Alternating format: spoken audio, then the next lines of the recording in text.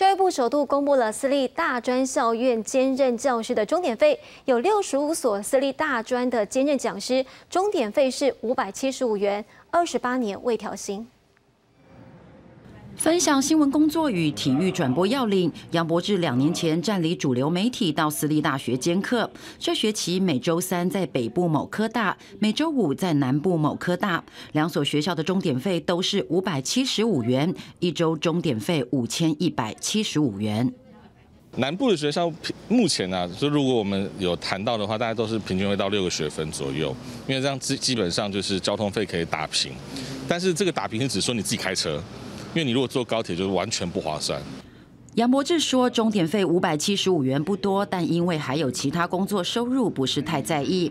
但公立大专校院兼任师终点费，一百零八年八月一号之后已经调整，兼任讲师是六百九十五元。根据教育部首度公开私立大专终点费资讯，文化、民传、实践、大同等六十五所私校的终点费都未调，兼任讲师仍是五百七十五元。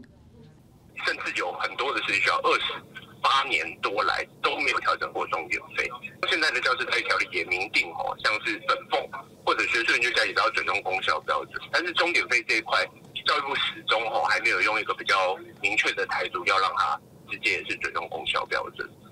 教育部表示，一百零五年起，私校比照公校的终点费纳入奖补助餐具。高教工会认为做法太消极，应该强制私校终点费比照或不低于公立学校。私校兼任老师也说，终点费这么低，长期下来不想交或去公校，私校教育品质也受影响。